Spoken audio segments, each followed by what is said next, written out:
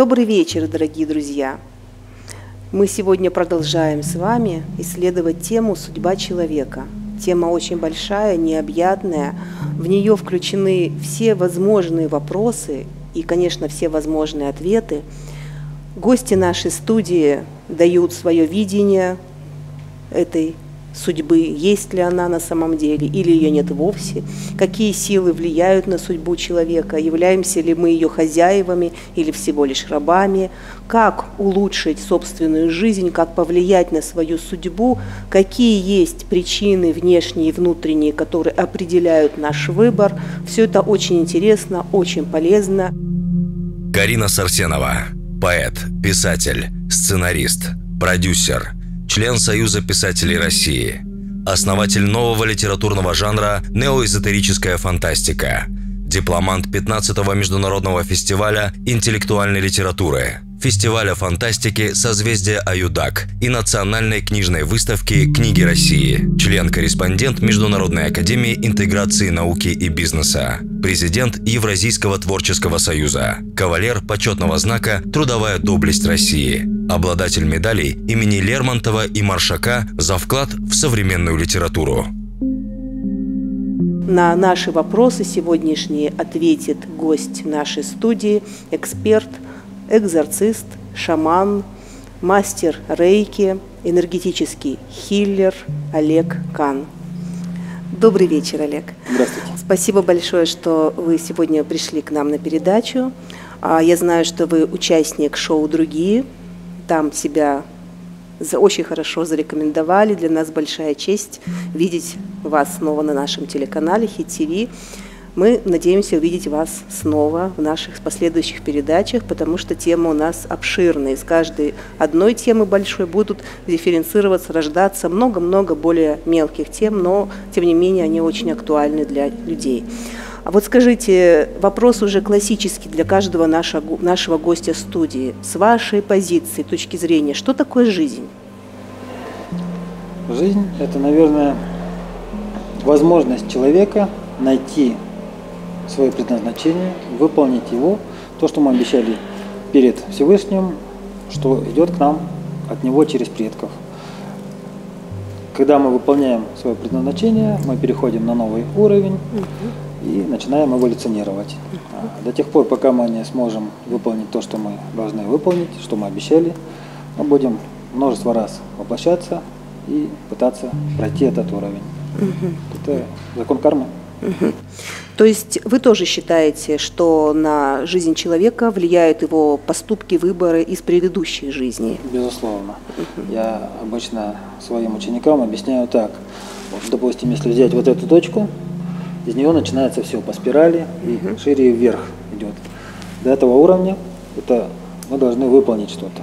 Если мы не выполняем, мы можем тысячу раз воплощаться, потом выполнили, поднимаемся на новый уровень и перемещаемся в начало. Угу. И вот таких вот уровней у нас может быть несколько тысяч, допустим.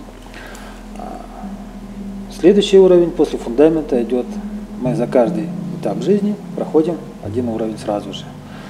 Дальше идет уровень, мы поднимаемся и становимся шире. Угу. Вот. Ну, как бы это процессы эволюции. Вот. И потом есть еще несколько уровней, ну, пока можно остановиться вот на этих уровнях. Те люди, которые живут в начальном этапе, они могут быть сутенерами, наркоторговцами, торговцами оружием, но спроса с них нету. Они как дети малые, они предназначены для того, чтобы другие люди получали через это уроки. Те люди, которые к ним приходят, их сильно никто не заставляет, им никто не вливает ни в горло, ни в вену. Ну, то есть, как бы это их личный опыт, их желание. Поэтому каждый на пути своем выполняет миссию. Даже черные маги, которые делают нехорошие вещи, они все сотрудники Всевышнего и с его соизволения работают. Для того, чтобы человек развивался, эволюционировал. Если он не хочет по-хорошему, его вынуждают, и он приходит через какие-то проблемы к экстрасенсам, или в церковь, или в мечеть, ну неважно куда, он приходит за помощью. И где-то на него заходит озарение, и он меняется. Тогда что-то начинает происходить. Угу. То есть это один из путей э, понимания своего предназначения, да? Такое насильственное, насильственный привод к осознанию предназначения. Мы люди, угу. мы по-хорошему не понимаем. Угу. Мы можем сравнить только в сравнении, угу. прожив сами, пропустив через себя. Некоторые получают большие проблемы, но только так мы можем понять. Потому что перед тем, как мы вошли в тело, нам показывают картину что будет, как будет, зачем будет, с кем мы будем жить, кто будут дети, кто родители, какие коллеги. Все нам показывают и несколько вариантов показывают. Угу. Как будем жить, так и будем идти. Угу. Но потом, когда мы приходим сюда, мы забываем все. Нам стирают память, то есть подходит ангел, так вот палец ставит, говорит, тихо, никому не рассказываю. И вот у нас остается вот здесь след угу. от пальца, можно сказать, угу. от ангела, да? Значит, это как печать, что ангел посетил, и человек пришел, уже не помнит. Угу. И он начинает свой путь с чистого листа. Поэтому бывают такие варианты, как дежавю. Человек никогда не видел, не знал, он говорит, я это помню, где-то это было уже. А это у него память просыпается. Мы все знали раньше, все могли, но сами от этого отказались. Угу. То есть, если человек имеет в жизни какие-то склонности, таланты, это все из прошлых жизней приходит? Это наработки прошлой жизни, это наши предки, они нарабатывали и пытались донести, но мы по незнанию не принимаем. И тем самым мы мешаем предкам нашим. А кто формирует судьбу человека на тонком плане? Кто ему, вот понятно, человеку до воплощения показывают его судьбу, варианты судьбы, да? А участвует ли он сам э, в программировании своей судьбы или это только высшие силы делают? Безусловно, он участвует, он даже выбирает тот путь, угу. как идти и куда идти. И он говорит, я хочу в этой жизни научиться там чему-то, допустим, угу. да, быть более лояльным или прощающим быть, или там каким-то, ну, людям помогающим, да. Угу. И, соответственно, ему дают потом либо целительские возможности, либо начинают его гнобить угу. с детства, и он должен принимать это со смирением и научиться прощать людей. То есть то, что он хочет, он получает в жизни. Угу. И поэтому вместо того, чтобы говорить, вот ты такой секой мне вот сделал бяку, угу. будь ты там проклят, да, это неправильно совсем. Человек это сделал, он замедлил свои вибрации, и стал ниже намного, чтобы угу. Сделать нам вот эту гадость. Угу. Но вместо благодарности мы ему говорим вот такие слова, и он раз заблокировался. Угу. В следующем воплощении он уже становится еще более злым, плохим. Угу. Так появляются маги колдуны. Допустим, угу. да? Если взять вот свечи, угу. красную, желтую, зеленую, черную, белую свечу взять, зажечь, огонь будет одинаковый. Угу. Это наши души, можно сказать, да, независимо от расы, вероисповедания, души одинаковые примерно. Вот, они, не ярче, не тусклее, Стандарт. Угу. Не зависит от формы свечи это, не зависит от размера ее. Вот. И поэтому в том мире, когда мы без тела, мы все едины, одинаковые. И чтобы что-то здесь получить, нам надо кого-то попросить, чтобы вот этот вот свет стал темнотой угу. и пришел к нам на помощь. Угу. И та душа приходит, он говорит, да, я согласен помочь тебе в этой жизни, но ты не забудь, что я для тебя это делаю. Мы говорим, да, конечно, я буду помнить об этом, но мы забываем все. И мы неправильно делаем что-то, угу. тем самым оба мы погружаемся угу. в бездну. Угу. А когда мы говорим спасибо тебе за этот опыт, благодарим, то тот человек, который ушел в темноту, он раскрывается и поднимается выше. Угу. И с ним мы тоже поднимаемся. Угу. То есть так работает, в принципе. То есть таким образом мы можем влиять на судьбу друг друга? Да, безусловно. А как еще духи предков могут влиять на живых людей, воплощенных? могут корректировать нашу судьбу. Угу. У меня был такой случай. Ко мне обратилась девочка, я с ней работал достаточно долго. И говорю, надо сделать тебе жертвоприношение. Она говорит, ну, я православная христианка, я не буду ваши шаманские штучки делать. Я говорю, пожалуйста, вот в Библии написано Агнец. Угу. 20 дней мы с ней работали, и я практически больше двух недель говорил про жертвоприношение. Объяснял, как это работает и что происходит. На 20-й день она мне оставляет деньги. Я говорю, зачем? Она говорит, это на барана. Я говорю, зачем мне деньги, завтра мы поедем, вы угу. сами из рук в руки отдадите. Угу. Она говорит, нет, если я сейчас вам не оставлю, то завтра я не приду, угу. не долечусь. А так меня жаба задушит, и я приеду, угу, буду вынуждена. Утром приходит, уже два человека было, она с квадратными глазами заходит, говорит, я не знаю, спала я или нет. Пришел старец, у него капюшон переходит в плащ, борода ниже колена, он меня посадил на колени, начал рассказывать какие-то вещи, потом сказал, коллегу не ходи к нему, это страшные люди, тебе не надо с ним пересекаться. Когда надо будет, когда можно будет, я тебя отправлю к нему опять. Кто это? Ну, это тот святой рода ее был, который поднялся. Она говорит, ну как же, мы же барана будем резать только через несколько часов, пока приготовим, пока что-то сделаем. Ну, что произошло? У нас есть вчера, угу. сегодня угу. и завтра. Угу. В том мире оно все здесь и сейчас, да. и они видят, допустим, если Олег совершил угу. что-то, угу. то через 10 лет у него большая проблема, угу. и чтобы этого не было, угу. мы ему что сделать можем? Мы ему сломаем ногу. Угу.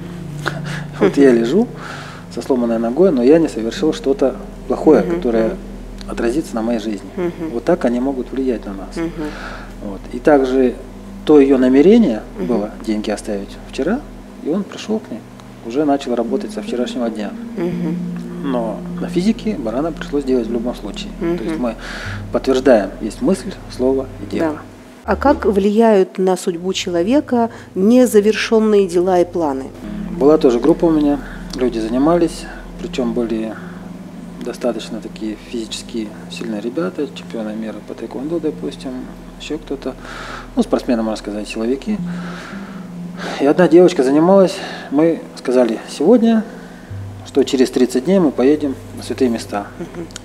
Вот здесь вот образовалось нечто. Мы приближаемся сюда, это нечто опускается, оно становится более материальным. Когда мы приходим, начинаем читать молитвы, оно входит в руки, как благословение, исцеление, очищение, дары, ну много всего хорошего. А за день до поездки девочка говорит, я не могу поехать, меня пригласили на свадьбу. Угу. Я говорю, дело твое, но угу. так делать нельзя угу. обычно, потому что всякое может случиться. Значит, через день у нас занятие, через день мы ее видим, она говорит, вы знаете, я на свадьбу не попала. Я умывалась в ванной, готовилась, мне стало плохо. Я потеряла сознание. Это видели ребята. В следующий раз они начали говорить, когда мы едем куда-то или что-то делаем, они говорят, не от нас зависит. Угу. Мы хотим, но как Бог даст. Или на все угу. воля Всевышнего. Угу. То есть с оговоркой начали говорить. Угу. А следует ли тогда реализовывать все свои идеи, мечты, мысли о создании чего-то, да, которые ну, приходят в голову? Или как это отсеивать? Что необходимо э, в реализацию пустить ради лучшей судьбы? А что можно оставить? Или что вообще можно следует отложить? Ну, если не лукавить и через сердце пропускать все, да, то любой человек знает, что будет хорошо и для него, и для окружающих. Но если он будет ставить приоритеты и угу. думать, что будет лучше для людей вокруг, нежели для меня, тогда он всегда будет делать правильные вещи. Мне кажется, что если человек будет приоритет ставить для всех, это будет правильнее. Угу. И есть такая вещь, что любое слово, мысль, если она даже плохая, невысказанная, ангелы сделают все, чтобы это не случилось. Угу. А если человек сказал слово плохое, то бесы приложат все усилия, чтобы это случилось. Угу. У нас идет мысль, слово и дело. Угу. Поэтому, допустим, тот же приказ о расстреле, угу. его очень трудно отменить, допустим, угу. практически. Угу. Редко бывает. А как же э, вот бывают ситуации в жизни, когда мы все делаем ради любимого человека, да, а ради своего друга или подруги, или ради сотрудников, действительно искренне от всей души думаем об их интересах, жертвуем своим временем, вкладываем в них душу, любим, да, э, вкладываем в их развитие, в их потребности финансовые средства, совершенно не считая, не жалея, даже не думая об отдаче. Я думаю, что в жизни многих людей были такие ситуации.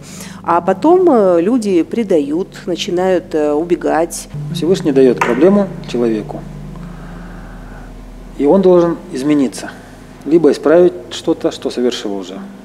Но он не может это понять, даже не знает об этом. Он обращается к целителям. Угу. Целитель есть шарлатан, который не думает об этом и не знает. Угу. Он говорит, да, я буду лечить твой рак там четвертой степени за тысячу долларов в день. Но человек говорит, да, деньги я с собой не заберу, а вдруг выживу. Угу. Что происходит? Всевышний, видя это, говорит, коль ты такой умный и хочешь мой промысел изменить, угу. то эта же болезнь будет у тебя точно угу. такая же. То есть хоронят того человека и хоронят угу. этого целителя одновременно, угу. можно сказать, в один день от одного и того же умирает. Угу. А, независимо от того, он шалатан или просто деньги зарабатывает, или целитель, который не знает всех нюансов и тонкостей, да, ответственность будет на нем да. в любом случае. То есть есть закон кармы. Не просит, не лезь. Угу. Вы думаете, что меня просит человек, он манипулирует, с точки зрения физики и нашего человеческого «я». Но эго очень сильно мешает, оно не дает развиваться ни нам, ни тем людям, которым дают испытания. Да? Мы пытаемся загасить чужие кредиты, там, угу. помочь там финансово, еще как-то физически, да, но человек, он деградирует, он не прилагает никаких усилий, он не меняется и испытание у него будет усугубляться и усугубляться. Помните, я начинала рассказывать, что угу. идет все по спирали и вверх, вверх, вверх, угу. да? Но если спирали разобрать, допустим, цикл 12 лет, то человек может посмотреть, допустим, в 5 лет у меня был перелом руки, плюс 12 лет у меня был перелом руки, плюс еще 12 лет перелом руки, и здесь вот он уже знает, и он что-то делает, меняется, и перелома руки нету. То есть несколько циклов ему надо было пройти, чтобы понять, есть какая-то закономерность. А, Еще простой пример. Любой человек пишет рукой угу. дольше, чем читает текст. Да. Также компьютер. Мы закидываем, допустим, с флешки на компьютер, он будет записывать, но чтобы просмотреть тот же фильм, мы включаем, в один клик он начинает показывать. Да? То есть неважно, физическое тело это человек или железо машина, божественный закон, он един для всех. Пишется дольше, чем считывается. Угу. Но люди стоят выше машины, и они не обращают на такие мелочи и нюансы никакого внимания. А из мелочей состоит вся наша жизнь. Угу. Есть же а, понятие, когда человек а, просит что-то, да, и это его выбор попросить, не попросить, или он не просит, ему что-то предлагают, и его выбор взять или не взять. Ему уже не насильно это всучивают, да, то есть он все равно говорит, да, я возьму. И здесь начинается, может быть, как вы считаете, тоже его ответственность? Конечно. И Каждый. если потом он а, не проявляет должной ответственности по отношению к людям, которые к нему хорошо относились, это может быть тоже неправильно. Наверное, знаете, каждый должен быть благодарен каждому. Да. За то участие, за сочувствие, за помощь, неважно. Но благодарить надо всегда уметь и за все. Угу. Вот. А те люди, которые не хотят брать ответственность на себя, но их вынудят, потому что это как болт, который угу. закручивают, он садится ниже, начинается давление внизу. Потом его закручивают еще наоборот, он сильнее давит. И так вот до тех пор, пока нас не спрессуют до какой-то критической точки накопления, когда включается уже ну, организм на самоуничтожение, допустим. Угу. Да. Что влияет на наш выбор, на наше внутреннее самочувствие, мысли, слова, действия наши, других людей? Что такое эмоции и чувства? Как все это взаимосвязано, как влияет на нас и как мы можем влиять на самих себя, гармонизировать себя. Возможно ли это для того, чтобы обрести действительно эффективную, хорошую, светлую, позитивную судьбу, судьбу высшей планки? Скажите, Олег, можно ли это сделать? Вот какие чувства, например, с вашей точки зрения у человека являются наиболее тормозящими для его эволюционного развития? А, вы знаете, все то, что вы сейчас перечислили, можно объединить и назвать так. Каждый человек должен брать на себя ответственность. А, не надо искать отговорки. Когда кто-то виноват другой, угу. нам легче жить. Да. Это не мы виноваты. Но в любом случае мы ищем как бы, чтобы сделать, чтобы ничего не делать. Угу. Это природа человека такая, да? Надо просто брать ответственность на себя и делать. Вот. И тогда у нас и судьба будет хорошая, и мы будем гармоничны. Никто, допустим, не говорит, выходи из себя. Угу. Да? Это наш выбор. Я вот терпел, терпел, последняя капля перелилась, и начался там взрыв, цепная реакция. Или, допустим, я сидел, сидел, ждал, ждал, пока у меня нарыв не появился, и пошел к врачу. А почему нельзя было пойти перевязку сделать, промывание, как только царапина появилась? Надо было месяц сидеть и ждать, когда начнется процесс какой-то, да? То есть это все отговорки в любом случае. Да, конечно. А могут ли э, мысли и чувства других людей влиять на наше поведение? Мы можем чувствовать мысли и чувства других, вестись на них?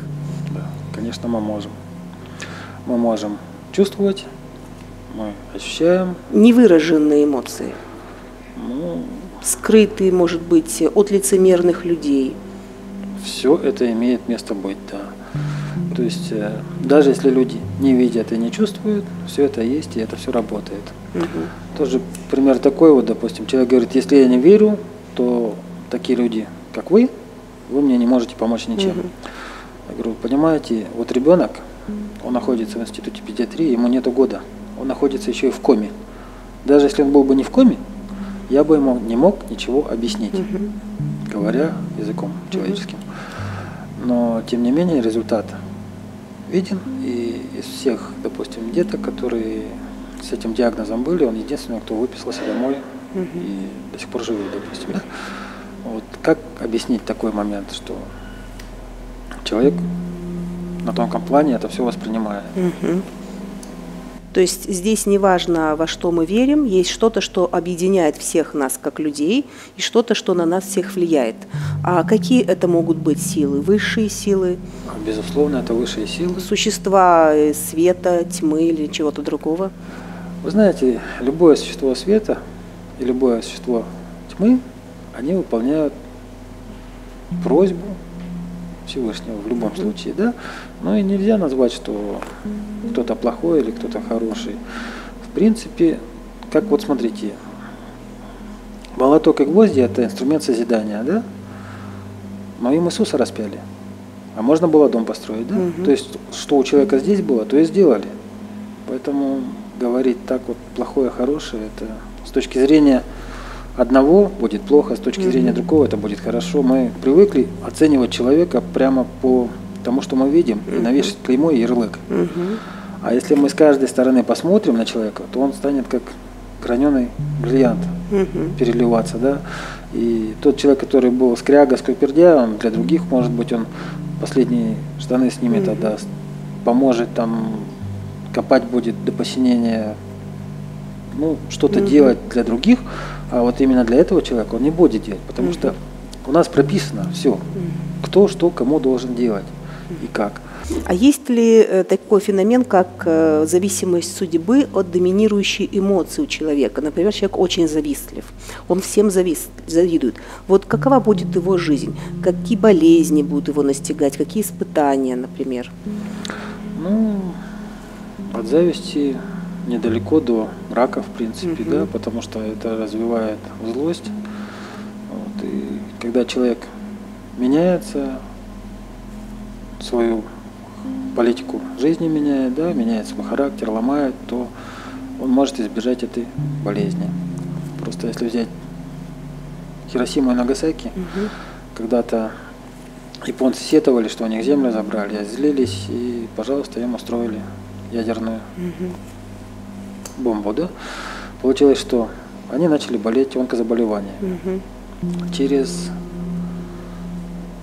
50 лет у них Фукусима, да, угу. опять они начинают угу. болеть, потому что они опять начали России предъявлять какие-то претензии, угу. Угу. начали злиться на этом фоне.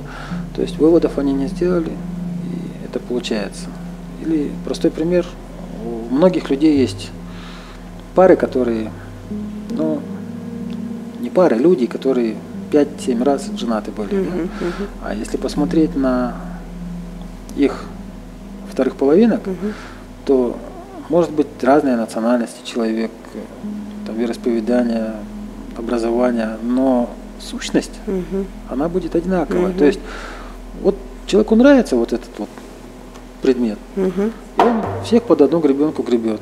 То есть примерно, получается, он живет всегда с одним человеком, угу. только в разном обличии. Вот. И до тех пор, пока он не что-то исправит, ему этот человек будет в судьбе приходить, а он будет говорить, ну что ж такое, в жизни у меня не пруха такая, все время попадается вот какая-то вот непонятка. Угу. Примерно так. Или женщины выходят замуж все время за алкоголиков, да, даже не подозревая об этом, о скрытом недуге своих избранников, да. Это все зависит от того, как она воспринимает все угу. и что она делает. Когда угу. она поменяется, угу. ее пьющий ныне супруг, угу. который с ней рядом, вдруг перестанет пить. Угу. Такое бывает тоже. А если человека постоянно преследуют финансовые неудачи, вот этот в масштабе одной личности или целой страны или мира, финансовый кризис, бич современности, так скажем, э, в чем здесь недоработки личности или общества? Ну, вы знаете, кризис, наверное, в голове угу. у людей. Если кому-то не хватает денег, надо встать на два часа раньше поработать на два часа больше. Угу. И столько же денег у него будет, сколько и прежде было. Но люди не хотят этого делать. Они сетуют на государство, на правительство, как говорят. Каждый народ заслуживает то правительство, которое есть, но опять же это мы перекладываем свою вину на угу. кого-то. Мы не хотим что-то делать и хаем правительство, допустим, да? Это неправильно, угу. опять же. Угу. Но все-таки в чем причина финансовых неудач конкретного отдельного человека? А ну, какой в целом, давайте я скажу, угу. это касается каждого человека. Получается, что мы не выполняем свое предназначение, угу. и нас вынуждают. Ну, возьмем вот так вот треугольная комната, где задняя стена это все наши предки, все святые, которые делают шаг вперед, они нас толкают. Но в начале пути мы идем по-разному, да, у нас создается впечатление, что мы сами делаем, что хотим, как хотим, uh-huh. идем. Но когда мы пришли уже в угол, мы видим винт, как мясорубки, допустим, да, мы пытаемся развернуться и убежать. Но непреодолимая сила нас выдавливает uh-huh. через мясорубку, через повреждения. А, поэтому на этом пути, этапе, мы можем измениться. Но когда мы не понимаем, нас начинают бить по самому больному. Мы любим детей, бьют по детям. Uh-huh. Любим родителей, бьют по ним. Любим себя, бьют по нашему uh-huh. здоровью. Любим финансы, забирают в один все, в один uh-huh. день. То есть э, машину угнали, дом сгорел, банк обанкротился. Uh-huh. Это может случиться за месяц. Uh-huh. Поэтому чем раньше мы придем к этому и начнем что-то делать и меняться в лучшую сторону, тем меньше у нас будет проблем в жизни. Поэтому мы вот открыли фонд, где объясняем, пытаемся. То есть наш фонд, он не финансами больше помогает, а, как сказать, духовно mm-hmm. понимать, что-то принимать и менять в себе. Mm-hmm. Вот Вы выпускаете делаем. литературу? Нет. Mm-hmm. Нет. Обучаете? Обучаем, да, показываем, что было, как mm-hmm. было. Многие люди очень сразу видят, вещи и говорят, если бы мы сами не увидели, мы бы не поверили. Но высшая сила, опять же, показывает человеку, что нечто есть, существует, и человек, увидев это, начинает верить. Да? Примерно так. Скажите, а вот возвращаясь к финансовым вопросам, это животрепещущая тема для многих, а, очень интересна тут, мне кажется, тематика долга. Как-то влияет на карму, на судьбу человека, а, если он не возвращает долг, отказывается это делать, например. Да, влияет сильно. Даже угу. у мусульман, когда угу. хоронят человека, мало спрашивает, этот человек должен кому-то или нет. И если он должен, то родные в течение определенного времени должны погасить этот долг. Угу. Потому как, вот смотрите, вот жил был человек, вот он ушел в мир иной и поднимается к небу, но его долги, вот он вылетел из тела, поднялся, его долги, какие-то там плохие дела, слова сказаны неправильно, там еще что-то, его вниз тянут. И плюс родственники начинают, особенно женщины, говорят, о, там, на кого же ты меня покинул, угу. как я тут одна. Вместо того, чтобы его отпустить, она его к себе угу. притягивает, и он вот здесь вот завис на этом уровне. Угу. Ему туда надо, в любом случае. И вот ежедневная молитва его поднимает, на сантиметр, допустим. куда-то маг поднимает, как лифт. А, допустим, то, что кто-то за него долги из родных отдал, тоже помогает им. Примерно это все так работает. Представьте, если это на тонком плане так работает, то каково на физике может быть? Угу. Человек лежачий может встать даже. Угу. Просто из-за того, что что-то меняется в жизни. Скажите, Олег, а вот э, судьбы двух людей могут быть очень сильно переплетены, настолько сильно, что когда уходит один, он может забрать другого из мира живых, или нет?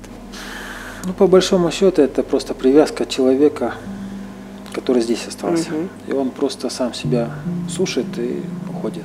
Угу. Да, безусловно, у них были отношения, были чувства, неземная любовь была, и чувство вины перед тем человеком, это раз, плюс привязанность его, оно включает такую программу. А дальше, уже в тонком мире, они вместе двигаются или разъединяются? Нет, они могут разъединиться, они могут пойти в разные места.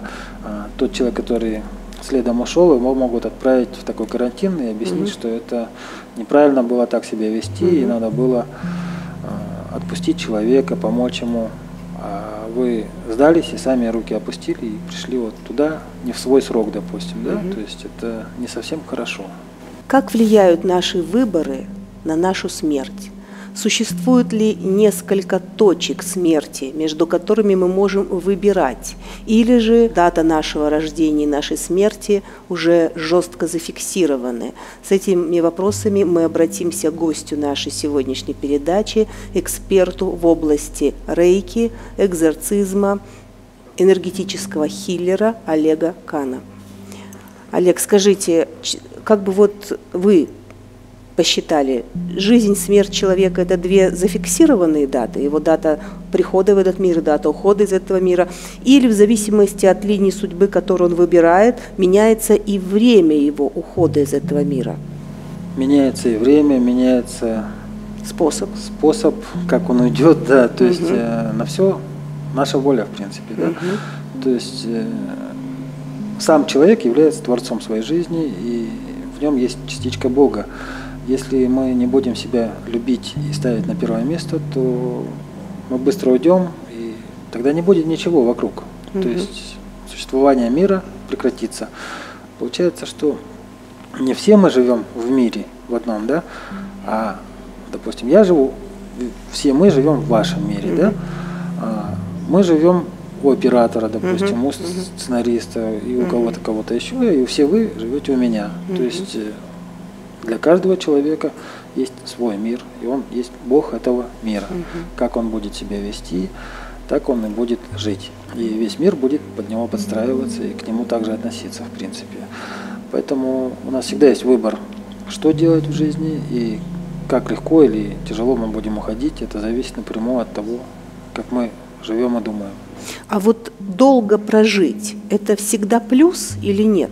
Если человек будет совершать много благодеяний, молиться в жизни, вести такую а, правильную жизнь, он гарантированно доживет, ну, условно говоря, до 100 лет. Или он умрет в 50, и это будет для него благо. Что здесь вы можете ответить? Вот так как можно сказать про то, ну, чего нету как бы угу. в нашем мире, да? Угу. То есть в тонком мире это одно. Но вот смотрите, есть такая притча хорошая про двух близнецов, которые находятся у матери в утробе. Один оптимист, другой пессимист. И один говорит, это жизнь только здесь. После родов никто не возвращался. То есть вот так получается, что на самом деле после родов никто не возвращался назад, да? И после смерти, в принципе, тоже никто не возвращался. И никто не может сказать, что я сожалею, что я здесь задержался, да? И туда рано не пришел. Да? Безусловно, там нам будет легче, потому что наша оболочка, наше физическое тело нас не будет сковывать, и мы будем более мобильны, больше можем помочь кому-то, даже нашим потомкам, которые находятся на Земле в теле. С этой точки зрения, конечно, это большой плюс. Но с точки зрения того, что мы находимся здесь и сейчас на Земле, и у нас эмоции проходят очень большие такие пиковые бывают вспышки, да, вот большой радости, допустим, человек получил премию большую, угу. напился, убил кого-то, да, он впал опять в ступор. Угу. То есть вот эти вот пики, они только здесь мы можем их испытать угу. на Земле, угу. потому что высшие силы, они всегда вот в таком таком приподнятом настроении, блаженном, да, да. блаженном, угу. да. И поэтому получается, что а, когда мы их призываем для помощи, они с удовольствием приходят, нам начинают помогать, потому что они через нас тоже испытывают те эмоции какие-то, которых нет там. Угу, То есть угу. Везде хорошо, где нас нет. Угу. Наверное, вот так вот лучше сказать. А кто когда уйдет и придет, это не нам решать. Угу. Если человек тяжело уходит из этой жизни, со страданиями, с мучениями, это следствие чего? Ну, это показатель того, что он не выполнил свою миссию на Земле. Он может даже прожить вроде бы хорошую жизнь, позитивную, да? А, никого не убить, не ограбить, не навредить, но умирает он мучительно. А это значит, что все-таки он скрыл от себя свою миссию, да, не выполнил. Ко мне приходят часто люди, они говорят, Олег, мы стоим на пятикратном намазе, угу. мы не пьем, мы не курим, мы людям помогаем, благотворительностью занимаемся. Но у нас вот какие-то вот такие дела, что непонятно. Хотя в Писании написано, что человек, омывающийся каждый день, молящийся, да, должен получать исцеление, очищение и вообще какие-то блага. Этого мы не видим.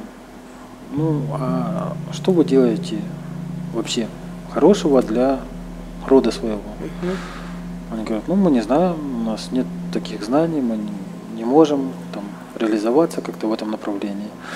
Поэтому, говорю, у вас есть проблемы с тем или иным аспектом. Как только они начинают уже принимать свой дар по роду идущий, это получается как помощь предкам. То есть предки, когда уходят в мир иной и к вратам рая подходят, допустим, их не пускают, говорят, стойте, стойте, мы вас не пустим, потому что вы вот назад то, что мы вам дали, принесли. Угу. Они говорят, ну как мы можем отдать, если наши потомки не хотят это принимать? До тех пор, пока мы не примем, их не пускают. Как только мы приняли у них что-то, их запускают, они или выше в ранге поднимаются, или им торбу больше дадут, то есть благ и умений каких-то. Угу. Через это они тоже могут больше нам помочь, опять же. То есть это круговая порука, угу. получается, да. Мы здесь берем то, что они для нас несли, и им открываем дорогу. Угу. Они заходят, становятся выше, помогают опять же нам. Угу. А бывает наоборот. Бывает человек, который, опять же, не выполнил свое предназначение, тяжело, плохо уходил, или, может быть, нагрешил страшно, а он попадает ну, в тот же ад, грубо говоря. Он говорит, Господи, я буду молиться миллион раз на день, потому что бесконечность. Да? Ему говорят, здесь твои молитвы не принимаются. Тебе давали время на земле, ты не хотел работать, палец о палец стукнуть. Но ты можешь молиться за тех людей, которые находятся на земле. И если твои родные и близкие изменятся через твои молитвы и станут молиться за тебя, эти молитвы тебе помогут. Угу. Опять же, вот получается, все взаимосвязано. Поэтому линия ДНК, она вот такая вот. Смотрите, Олег, э, с предназначением все-таки да, хотелось бы разобраться более подробно. Это очень животрепещущая тема. Это вот э, как вы представляете ее телезрителям, это основополагающая центральная тема для развития судьбы человека, для становления судьбы его судьбы. А, так если человек рождается уже с какими-то склонностями, то есть э, ребенок э, ну, научился говорить в 2-3 года, и говорит, я буду девочкой, говорит, я буду актрисой, да, и действительно она вырастает, учится актерскому мастерству, становится актрисой. А, или человек в каком-то возрасте осознает, что он бизнесмен, да, и все, он говорит, я не могу жить без того, чтобы не делать расчеты, не зарабатывать деньги, не строить предприятия, не давать рабочие места людям. Или человек говорит, я всю жизнь буду ученым, да, и заходит в стены э, какого-то университета, 65 лет там работает и фактически умирает на рабочем месте, так метафорически говоря, да, до глубоких лет э, преподавая и развивая науку. Это уже явное предназначение. Но ведь в мире есть множество людей, которые не знают, чем заниматься. Они меняют профессию за профессией. Они мечутся между разными частями своего «я», да, э, подчиняясь каким-то чужим влияниям, советом друзей, давлению родителей, да, э, за компанию поступают вузы. Как же им все-таки не испортить свою судьбу, найти себя? Вот совет от вас дайте, пожалуйста. Ну, знаете, надо все пропускать через сердце, да, если есть к чему-то желание вот отсюда, да, то, наверное, это самое правильное. Если мысли отсюда идут, то мы уйдем в дебри, и мы запутаемся. Вот тоже и произойдет, что вы сейчас все перечислили. Uh-huh, да? uh-huh. А, то есть Любая мысль, первая, это от ангела идет uh-huh, мысль, да. Uh-huh. Потом мы включаем свои какие-то там, ну не знаю, стереотипы, мышления, давление, uh-huh. нас вот это все оказывает влияние, и мы подаемся чему-то и уходим не uh-huh. туда, куда надо. Да? Uh-huh. Ну, допустим, у человека есть предназначение, он его не выполняет, ему начинает закручивать болт, он теряет работу, начинается проблемы, он ходит, работает на пятачок, допустим, временными заработками зарабатывает, ну и выходит на улице, лежит под скамейкой 100 долларов.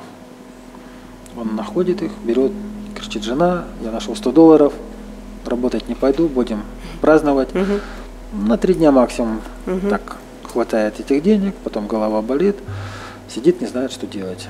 Я уж прошу прощения, я человека называю Вася Пупкин. Uh-huh, uh-huh. Вот, и Вася Пупкин сидит, болеет, заходит сосед, говорит, Вася, у меня ситуация такая, я привез пиво, ящик, а жена выгнала, говорит, дома не дам пить, можно у тебя? О, с удовольствием, заходи. Вечером приходит сосед другой, говорит, у меня DVD, там сериал 40 фильмов, 40 серий, давай посмотрим, давай. Неделя прошла, вот с того момента, как он нашел 100 долларов, пришел сосед с пивом и угу. фильм смотрят. За неделю этот Вася не сделал ничего хорошего. Угу. То есть что получается? То, что мы можем сделать сегодня, не надо откладывать на завтра. Потому что это бесы делают то, чтобы мы ничего не делали. Угу. То есть не сделав ничего хорошего, мы не наносим вред темным силам, получается. Соответственно, мы против Бога.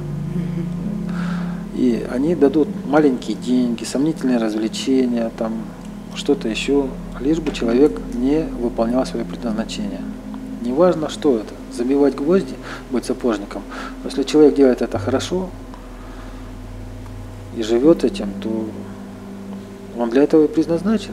То есть, если каждый будет выполнять свое предназначение, неважно какое, любое, хотя бы одну вещь, которую он делает, делать хорошо и до конца на сто процентов, везде рай будет, наверное. Скажите, Олег, а профессия, э, в зависимости от чего она выбирается человеком, если он уже осознал и принял свое предназначение? Творческий человек, человек науки, ученый, человек, который делает все своими руками, рабочий, например, да, а, все эти профессии нужны, но как вы охарактеризуете душу или карму, судьбу этих людей, выбирающих именно такой способ самореализации?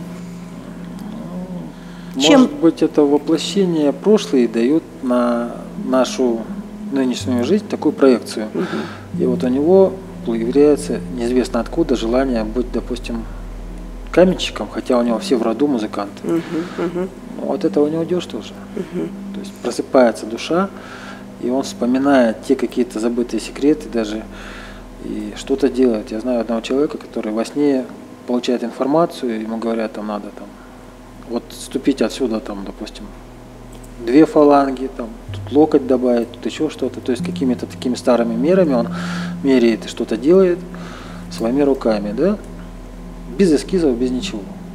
И ему опять же говорят, придет такой человек, ты ему это отдашь. И через какое-то время приходит тот человек, которому тоже во сне mm-hmm. говорят, найдешь mm-hmm. где-то этого человека. Mm-hmm. То есть вот они выполняют предназначение свое. А если э, кто-то соберется мешать исполнению предназначения человека, ведь это же зарубание на корню, духовная самореализация, эти вещи наказуемы потом будут? Ну, конечно, да. Получается, что мы должны были выполнить что-то, но поддались уговорам и не стали это делать. Во-первых, мы не прошли проверку. Когда нам дают какие-то испытания в виде, а, допустим, ограничения в денежных средствах или там в том, что человек хотел большой славы, но mm-hmm. его никто не знает очень долгое время, и он только после смерти обретает mm-hmm. славу. Вот, это все идет как испытание, mm-hmm. опять же, да. Поэтому чем сильнее испытания, тем лучше для нас. Но главное пройти, надо учиться терпению, смирению и все с любовью принимать. А, я всегда говорю пациентам и ученикам, чем хуже, тем лучше. Потому что работа так идет. И хуже, если все ровно вы ничего не ощущаете, не чувствуете, потому что высшие силы на вас не обращают внимания.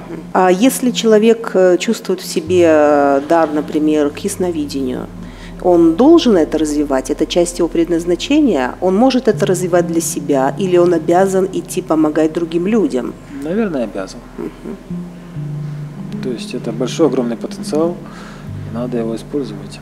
Угу. Есть притча, Бог дал одному человеку дар, другому два дара и третьему пять даров. И потом собрал их, говорит, что вы сделали? Ну, один говорит, у меня было пять, я стал обладателем десяти даров. Ты молодец. А что ты сделал? Ну, у меня, говорит, два было, меня тоже теперь десять. Ну, ты вообще молодец. Ну, а ты меня как порадуешь, говорит, ты, наверное, лучше всех развилась. Нет, говорит Всевышний, у меня был всего один дар, я боялся его потерять, я его закопал в землю. То есть, понимаете, те двое, которые реализовались и развили это в нечто большее, они прошли испытания и будут выше. А тот, кто не прошел, он будет до тех пор, пока не выполнит, опять же, что-то делать. Что же сделает нас более счастливыми, более богатыми, более гармоничными, более эффективными? Возможно, это наша самореализация, это нахождение, принятие и утверждение через действие своего предназначения. Это то, что делает нас уникальными, неотличимыми от других, возможно, очень даже отличимыми, но при этом мы соединяемся в единое целое друг с другом и с Богом именно через исполнение нашего предназначения. Сегодняшний гость нашей передачи – эксперт, шаман, мастер рейки, энергетический хиллер, экзорцист Олег Кан дал очень интересные, исчерпывающие ответы на эти вопросы и, конечно же, зарядил, поставил новые вопросы, на которые будет отвечать следующий гость нашей передачи «Запредельная».